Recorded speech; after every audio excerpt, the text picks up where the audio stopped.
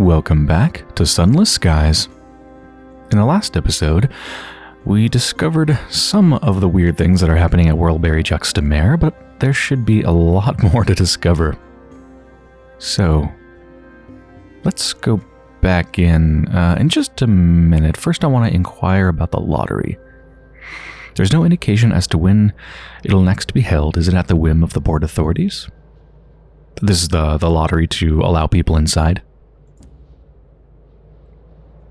The queue snakes across the lip of the docks like an umbilical cord, or a garland. Scalpers bark temptations, promising expedited access. Vendors patrol the undulations of the line, offering drinks, snacks, anything to spare the mind from the doldrums. Finally, a woman in tattered mourning attire answers. It's every fortnight, more or less. You want to be near the front. They only give out a few passes. Don't want to dilute the quality of the clientele, I hear. It appears you'll have to come back later if you want to get in via the Pauper's Pass. That's yet another biological term. Remember all the biological, like, intestinal body part, cilia, vis, vis, viscally? Something like that? And, uh, now talks about an umbilical cord. The queue snakes across the lip of the docks like an umbilical cord. Let's go back in.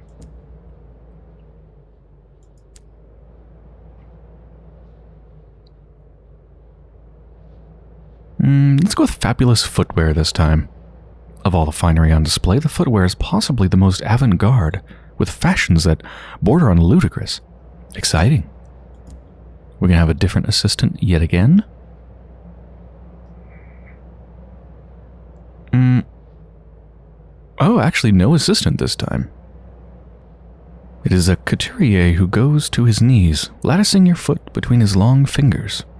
In the frame of his black on black eyes, your reflection is that of a stranger's, wild and otherworldly. A personal touch, is all he says. The couturier does not permit you to rise, nor does he allow you to pick your shoes. Instead, he ferries you options to sift through high heels, sensible clogs, equestrian boots in the softest leather, open toed slippers, sandals teased together from gold wires. And then this last part is the same as always.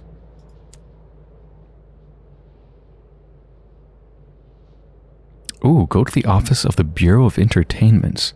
Here you will be able to betray the cult and forge a different alliance. Just entering the office is not a betrayal, however. Okay, so who do I want to team up with? The cult that I don't know much about, but they're literally called a cult? Um, or the Bureau of Entertainments, which I hate? Not like an either option. Slide across to the off season.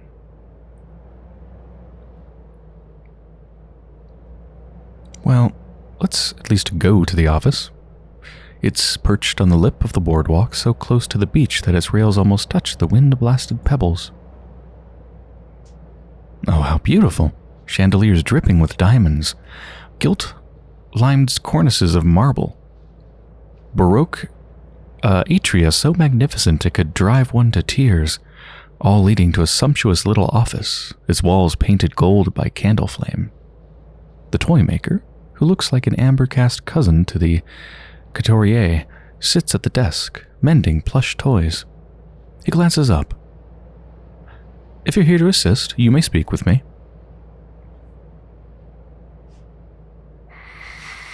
Speak with them, offer to help, or return. Let's, let's speak with them. Talk of the cult, of the state of the port, of how you can assist the authorities. I'm not going to assist the authorities. Fuck the authorities. Do I help a cult just to spite the authorities? Reports tell me you were with the cult, but not of the cult. The toy maker sutures the teddy bear's black button eye in place. That sermon caused a fuss. He spits the word like it was a jag of sharp bone. In the off season, People are taking risks. People are dying. So very wasteful.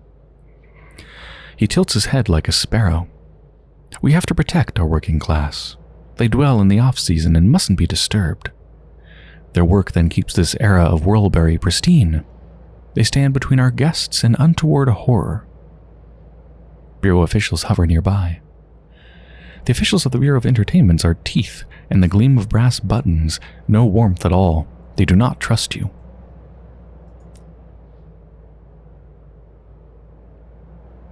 Well, I think that's the end of our conversation. I'm not helping you. You abscond from the office and scurry away to the commercial clamor Worlebury Juxtamare.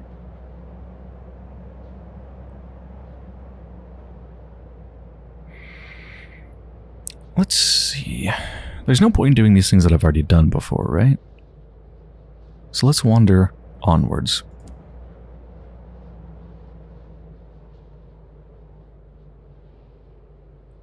Succumb to the wiles of a rubbery lump seller. No, we've already done that. Let's keep going. So I'm probably not going to notice anything weird happening, right? Because I guess we already kind of... We didn't really figure it out, but... Yeah, I don't, I don't think there's anything more to do with that. Tiny... No, we've done that. I'm going to keep wandering onwards, just in case there's something special.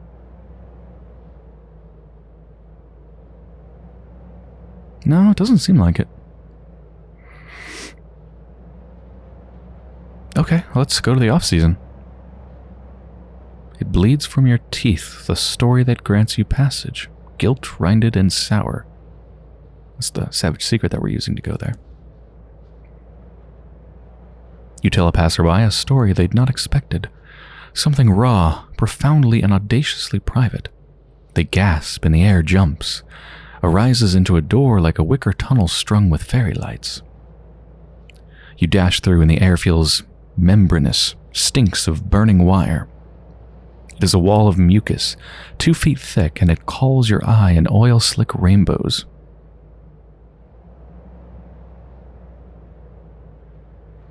Wait, so telling something extremely surprising and startling to somebody the gasp in the air jumps arises into a door like a wicker tunnel strung with fairy lights.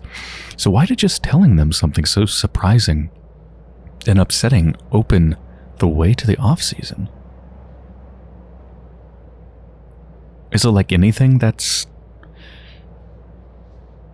anything that's su surprising or startling? Kind of breaks through the illusion a bit, I guess.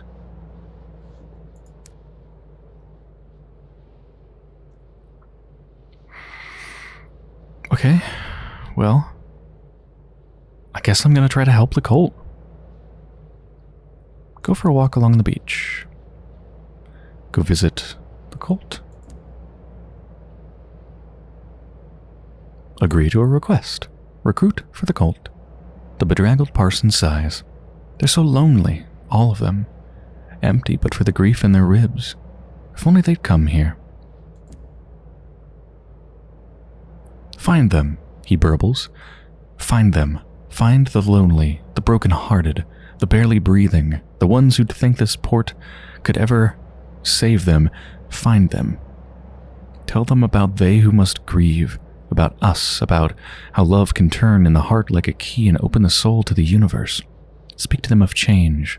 Tell them. Tell them. The words seep from the, from the bedraggled parson, tie themselves into gibberish nonsense sounds like a spill of cold water on glass. For minutes he is inchoate. Then, you need clothes. The cultists cram you into second-hand finery, shabby but serviceable. Now you're suitably attired. They bundle you across the off-season and through a door to Worlebury. The membrane blocking it shivers and twitches, reluctantly allowing you to pass through. Time tingles on your skin for several minutes after your arrival. They seek new blood from Worlebury Juxtamare. Hmm, I had an idea, by the way. You know the whole your clothes are constantly being, like, worn away? And then we have all this, like, biological stuff and going through tunnels and intestines and stuff. It's like we're inside of a, a creature. What if all the clothes are being eaten away because we're basically being slowly digested.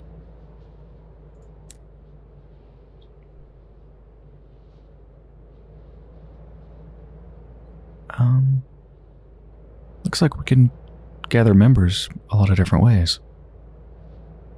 This one requires hearts. This one requires two sky stories, two salons to gossip. No amount of finery is enough to hide the grief weighing from their lashes. These poor souls must hear your words. Let's do this one. I don't want to take this 60% roll. Grief weighs from their lashes. These poor souls will be persuaded if only you can make them listen. You'll need to start with enthralling tales, then drop to the personal. A man, a woman, teenagers lanky as hounds, a couple too old for the weight of their years. They listen to the sutras and scriptures of transformation you repeat. Their entire bodies poured into the act. Something in the words sing to them. And one by one they say yes, yes, and yes again, discreet in their reverence. You give them directions to the cult's headquarters and pats on the shoulders. They receive your attention with the gratitude of children. Return to the church in the off season for your reward. Back to the off season.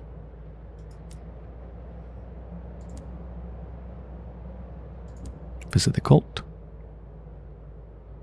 Report the results of your recruitment mission. The bedraggled parson will likely wish to be notified of your success. Thank you, says the bedraggled parson, tone milk mild. He gestures, an inflection of the hand that draws the eye to a swath of new faces, each tendril haired, paraffin pale, and without expression. Then one laughs jerkily, fingers picking at their chewed down hems, and it becomes clear who they are.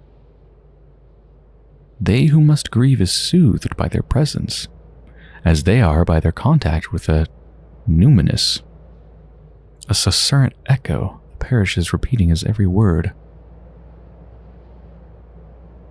Man, I really shouldn't be helping this cult, but I also really want to know what happens. hmm.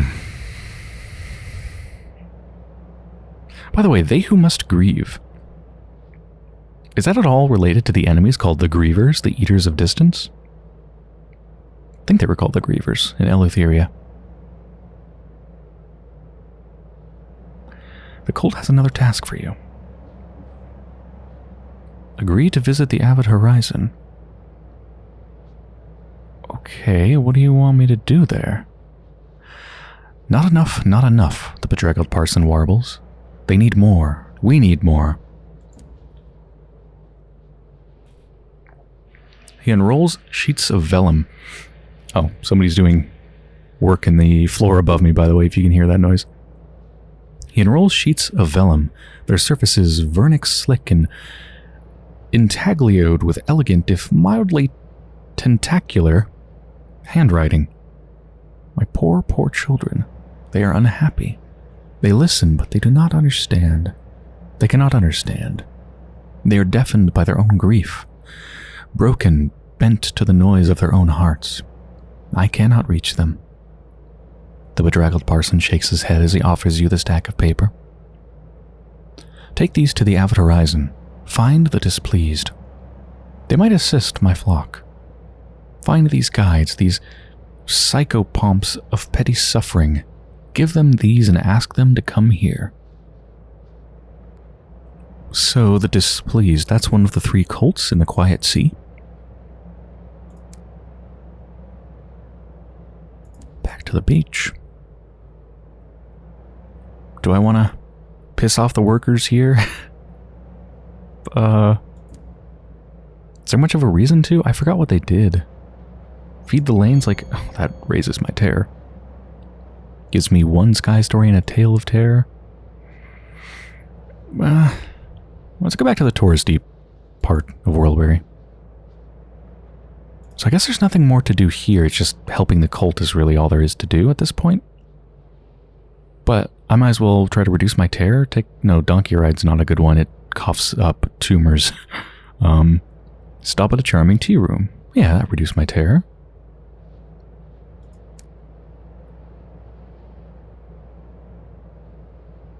I don't think I want to eat rubbery lumps.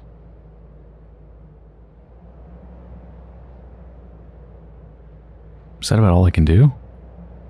Let's wander onwards. Don't want a donkey ride. I don't want that. I don't want that. Wander onwards. Okay, let's just leave. I think it's time to finally leave Worlebury Juxtamare for now. They have a bargain, though. The shady sale of an unlikely amount of tea. What a lot of tea. Why is this scarred gentleman selling it so cheap? He picks at his teeth. Do you want to ask questions, or do you want to buy a load of cheap tea that may or may not have recently, recently been used to conceal other substances of less certain legality? I hope none of it's leached into the tea. Actually, I'm not going to buy that because I want to buy more fuel. Nine fuel, ten supplies, that should too. I don't believe there's any more ports in Albion, most likely, but there is a pretty big swath here of unexplored area. Everywhere else is like, you know, there's probably not much, if anything, there or there or there, although there might be. But there could be something big here. Oh, and the Avid Horizon is just right up there. Yeah, let's go, let's go like here. Let's go down here and then go counterclockwise to the Avid Horizon. Exploring this whole place along the way.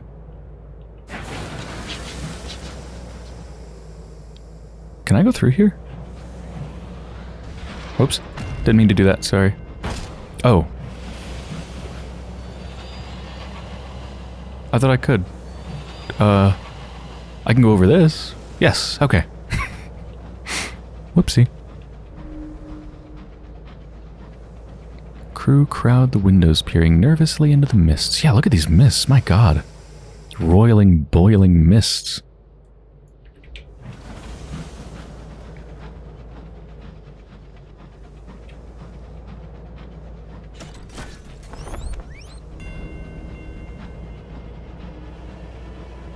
Wait, why is my terror going up? What? It's just from being in the mist? Oh, what the fuck is... Yeah! What the hell is that?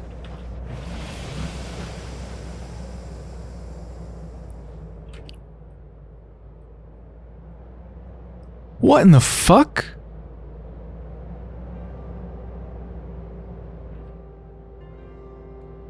It's not even listed on the map?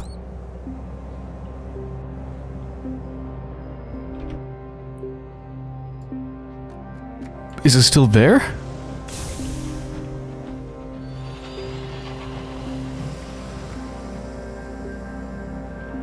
Okay, my ter- Uh, uh.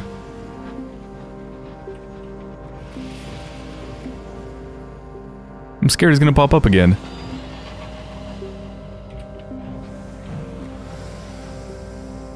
Are you a guest or something? You're moving kind of weirdly. I'm scared of this whole damn place that another one's gonna pop up. Fuck.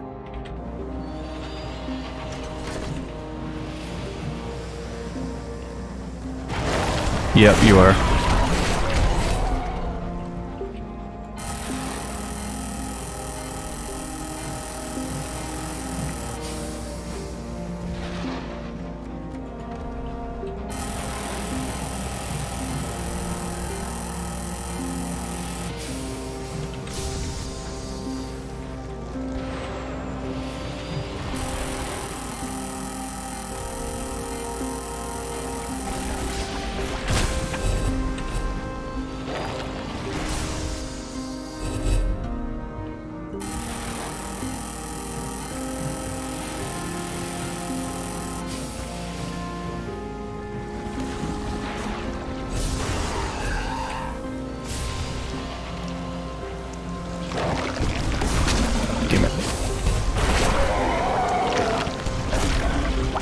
Yeah.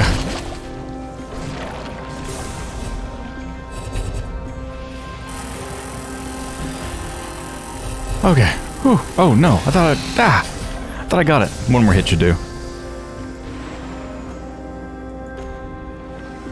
There we go. Whew.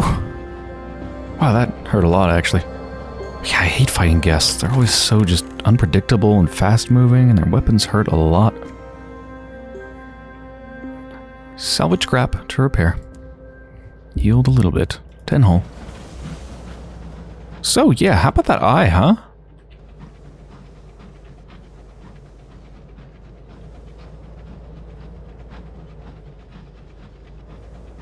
Is it just gone? The repentant devil looks thoughtful. We could have fun here. His definition might not match yours. I think the eye's just gone.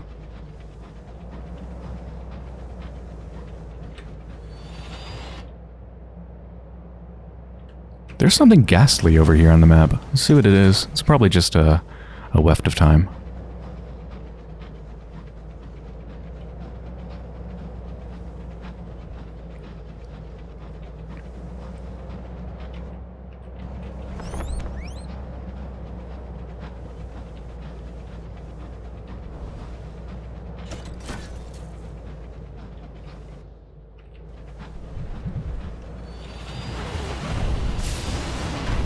Yes.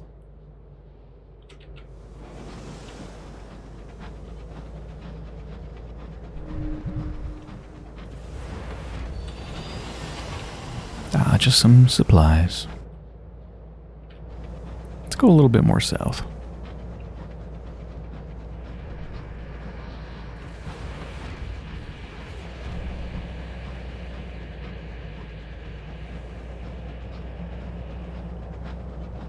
I the soothing sounds of someone drilling above me.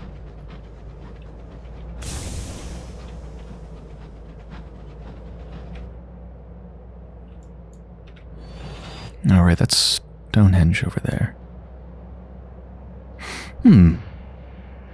They took hours at Stonehenge. I have hours. Maybe we should just take a quick pop over there, you know? Just a pop over to Stonehenge.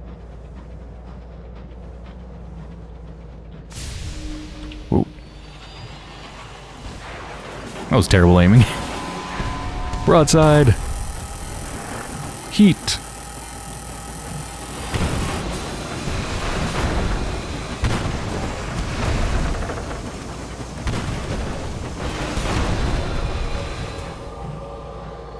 A crewman yelps. He swears he saw something stir in the mists below. I'm sure you did. Hmm, search for survivors. Right, a missing one crew member. Yeah.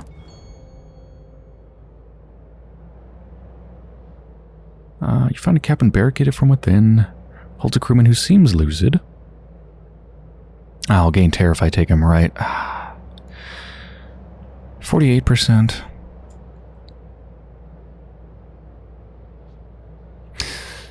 No, let's lose terror. Especially since I'm about to go to a horror.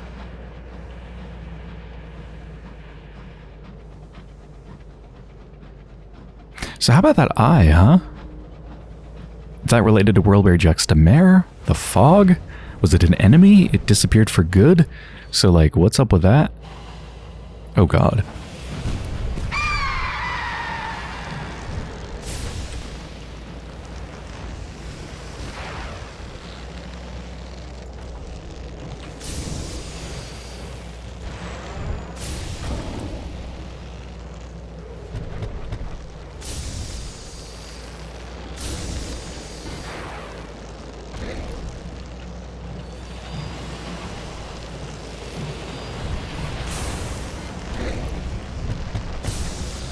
Another one. Oh, it's the other one isn't a senior though.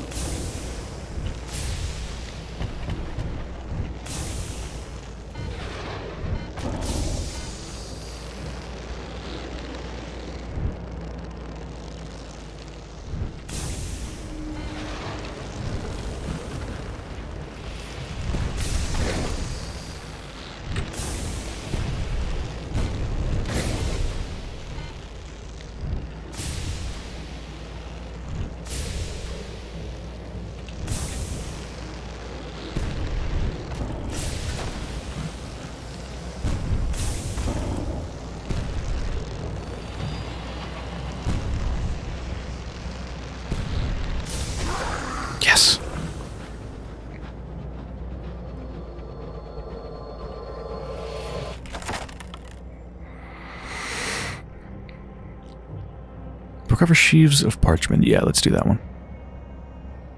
Two scraps of it. Two, two scraps. Two scraps of ancient knowledge.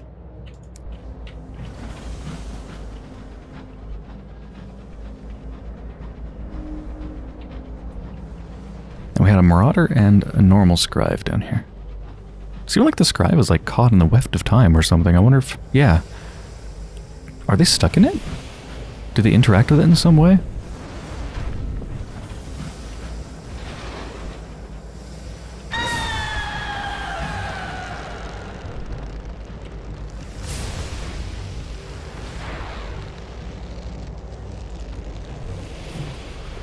They're behaving weirdly, so maybe they are kind of stuck in it or something. Let's just ignore them. Like, how am I even going to get the loot without going into the weft of time if I kill them in there? Whisper a sky story to the tallest stone. Let's do that again. Success this time. I gained a crew. Wait, what? You lean your head against the cold rock and murmur a tale of adventure to a hollow in the stone. It doesn't take long. You pull back from the menhir, the air hangs still. Noth- Someone swears. A stranger staggers towards you from between two stones. The clothes are outdated, the fashion several years old. They head towards you, but you are not the captain they expected. The new arrival is eager to board your locomotive. They'll take any role just to get away. Oh my god, that is so cool. Right, the beings that live here are the beings that live between seconds, is I think what they were called. So they somehow got stuck here in time from a couple years ago. Step inside the ring of stones. Gift a barrel of hours to the beings that live between seconds. They accepted the last barrel so eagerly. Yeah, anything different? Hmm, this is different, actually. Last time they gave me one cask, this time they gave me two. And let's read this. The translucent beings turn towards you in unison. As you hoist the barrel onto the altar, their heads arch over it. Even as you are prying off the lid, they reach boneless limbs towards the geodes inside. Tenderly, the hours are passed out, are pressed to feather robed breasts. There are not enough to go around. A keening goes up from two. Their black eyes fix on you balefully before turning away. Another being spills a shimmer of bright gemstones, this time a torrent of them, into your arms. It turns back to the altar. You are forgotten. Hmm. Getting a bigger reward, but some of them were really unhappy with me. I feel like if I keep giving them, like, maybe I'm making something bad happen by giving them these hours. But that is a huge reward. Two casks of Navartine gemstones? If I just straight sell them, that's like almost a thousand right there. And if you do a prospect or something, that's way more.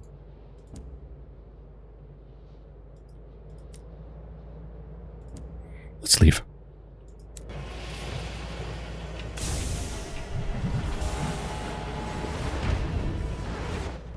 Damn, lots of wefts of time around here.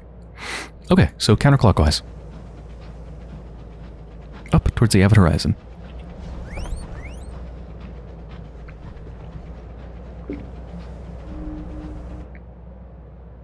Hmm? What is that?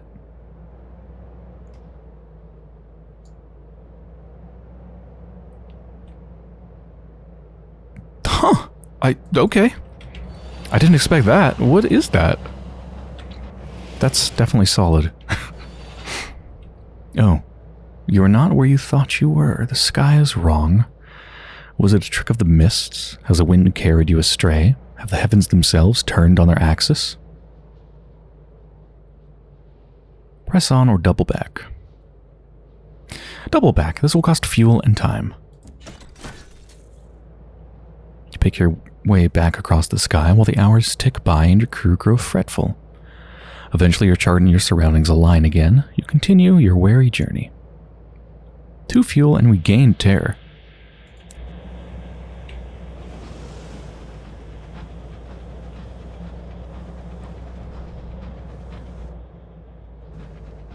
I'm just trying to think, like, have I heard any other ports been mentioned? What could this be?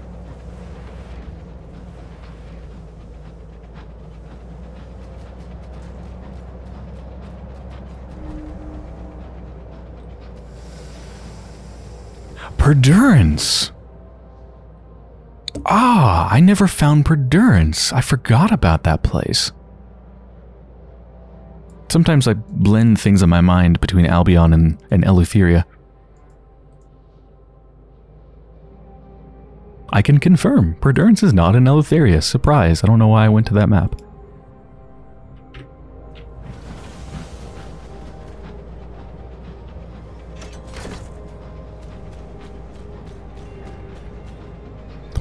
Do here? I'm sure we have some quest, right?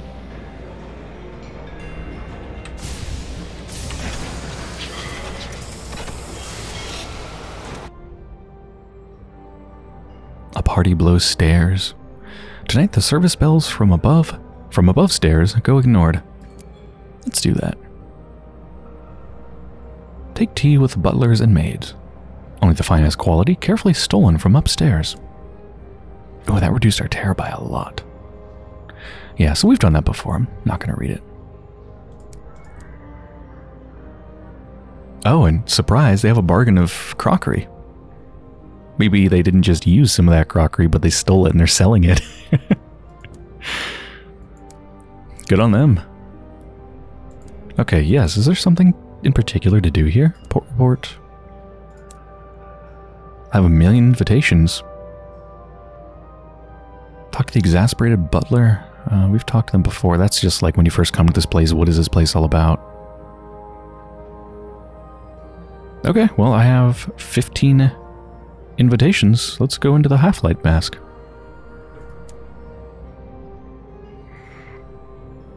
Hmm. yes, this is one thing. The counselor, no, not the counselor's daughter, the, um, macabre what was her name? I don't remember exactly, but they're a person from the mausoleum. They wanted me to find their daughter. They're one of the deathless. Find the presumptuous heiress. She must be here somewhere, but can you find her? Macabre counselor commissioned you to find and free her daughter, the presumptuous heiress. Or heiress. First, you'll need to find her among the debutantes. Either ask around or search the dining hall. Let's search. Hmm, actually. 72% chance of success. Yeah, let's do that. Let's search. Let's use my eyes. Use my analytical brain. The macabre counselor provided you with a fulsome description, several charcoal sketches, and a lock of hair. Unfortunately, almost everyone here is young, comely, and slavishly contemporary with current fashions. There she is. Her mass of dark brown curls is set off with a spray of curving blue-black feathers so high they scrape the low ceiling. She leans on a grand piano, talking to the pianist, a lady of comparable build with similar brown curls, an identical chin, and matching eyes. They could be sisters. Oh. Apparently the macabre counselor has two daughters. She said nothing of this. No doubt it will prove to be a complication. There are too many people nearby to speak with either sister discreetly, but in the evening there will be a ball. Perhaps you'll have a chance then. Move onwards.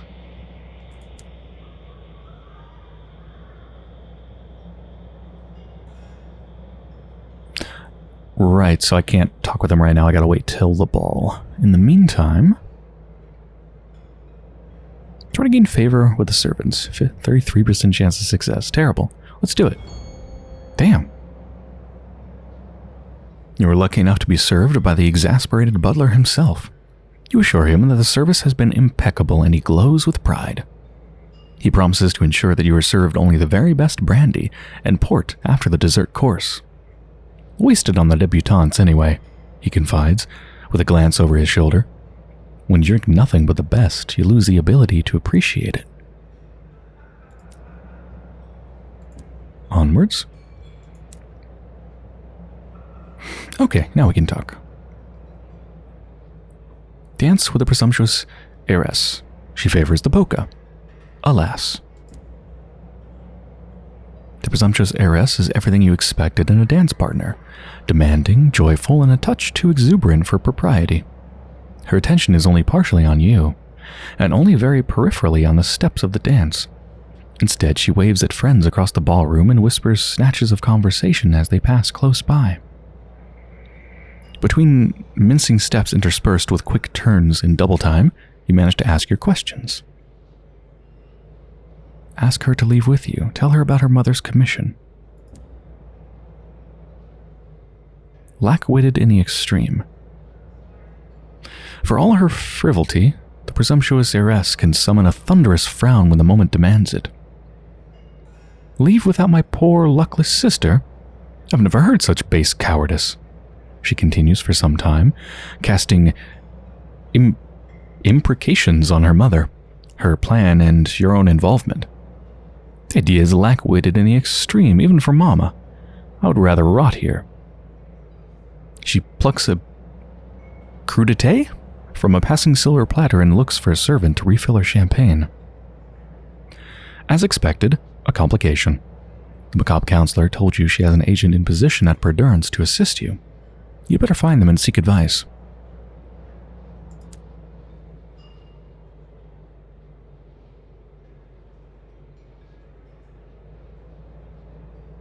Uh, how do I... How do I do that? Well, in the meantime, let's dance with the luckless sister. A country dance. You'll have to watch your feet. The luckless sister is light on her feet, with a graceful tread. Her curls escape her pins as she twirls, gleaming a dark bronze in the gaslight. She looks very much like her sister as she dances, the occasional anxious line in her face smoothing over with the abandon of youth. Still, there's a watchfulness about her even as you clasp hands and smile. You must seize your moments for speech somehow. You contrive.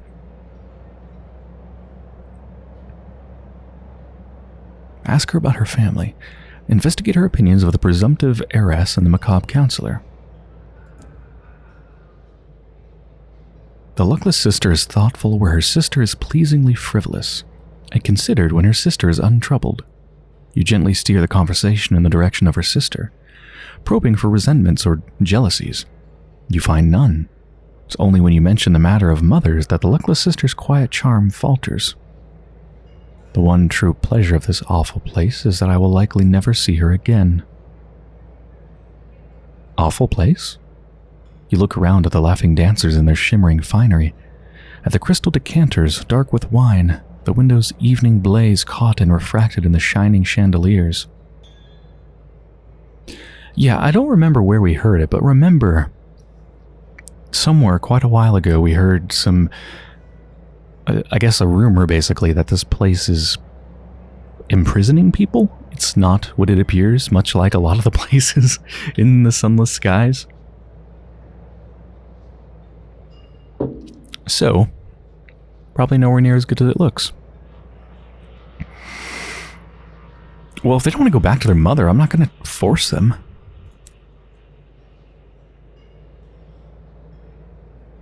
Explain her mother's commission. Would she perhaps be willing to convince her sister to leave Perdurance with you tonight?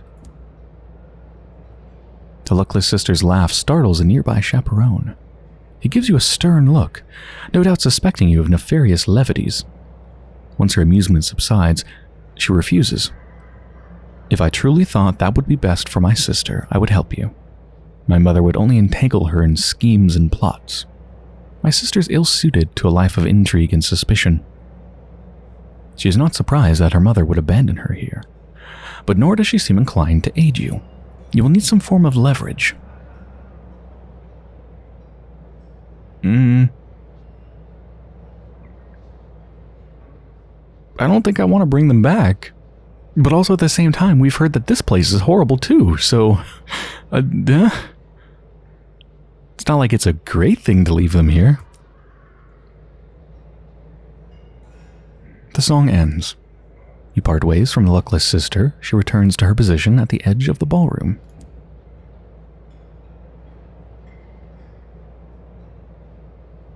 Okay, they have an agent here I'm supposed to talk to. Where? Maybe I'll dance with a presumptive heiress again? Do we have something new to talk about? No, we don't. Let's try to charm the servants again. Failure.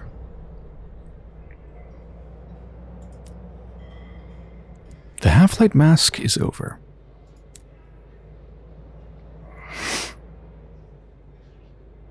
A servant tugs at your sleeve. You have endeared yourself to those who work below stairs. You end the day closer to the servants than the debutantes.